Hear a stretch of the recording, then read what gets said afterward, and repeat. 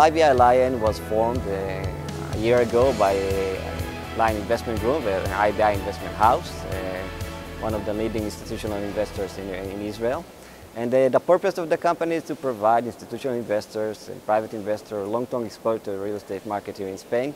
We have a strong belief in the real estate market in Spain and its future growth, and we wish to take a small part in it.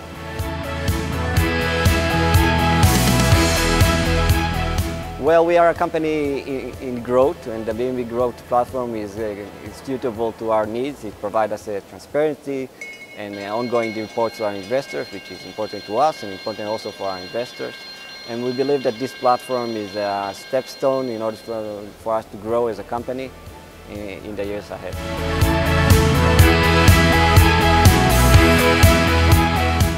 IBI Lion as a, as a company uh, has a, a, unique investment scheme which I think is quite attractive to our, to our investors. We, we invest in yield-bearing assets, offices and logistics with long leases and good tenants uh, in main cities of Spain. And in times of heightened inflation and uh, increases in, in interest, uh, it's, it's, it's quite a good safeguard for, for, for investment in order to provide an ongoing cash flow for our investors.